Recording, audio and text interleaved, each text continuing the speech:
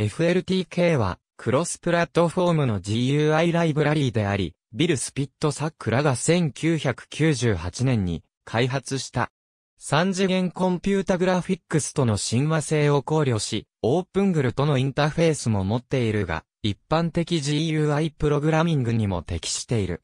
独自のウィジェット、描画、イベントシステムを使って基盤となっている各システム固有のコードを抽象化している。これによって、どのオペレーティングシステムでも同じ見た目のプログラムを書くことができる。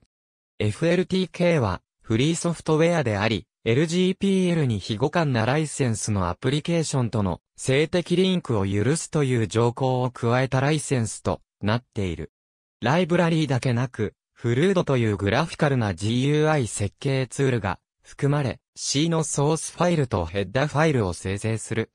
Qt や wxWidgets に比べると、FLTK はより軽量に設計されていて、機能も GUI 機能に限定されている。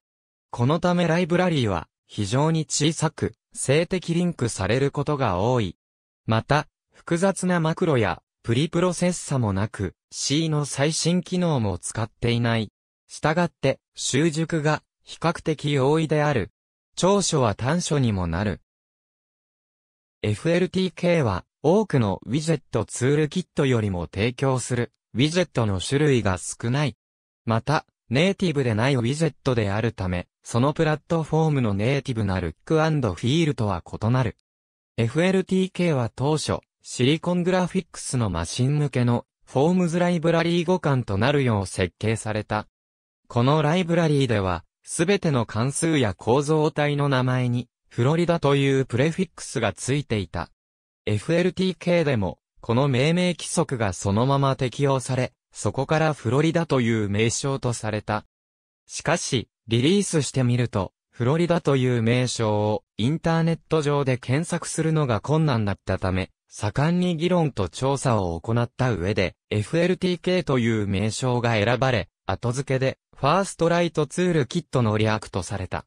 FLTK は C で書かれているので、C での利用に適している。しかし、他のオブジェクト指向プログラミング言語向けのバインディングもあり、例えば、Python 向けバインディングや Ruby 向けバインディングや Lua 向けバインディングがある。以下のコード例は FLTK1X を使って OK ボタンのあるウィンドウを生成するものである。include フロリダ、フロリダ H。include フロリダ、フロリダウィンドウ H。include フロリダ、フロリダボタン H。int メイン。フロリダウィンドウ。W イコールニューフロリダウィンドウ。ニューフロリダボタン。W マイナスエンド。W マイナスショーリターンフロリダ、ラン。ありがとうございます。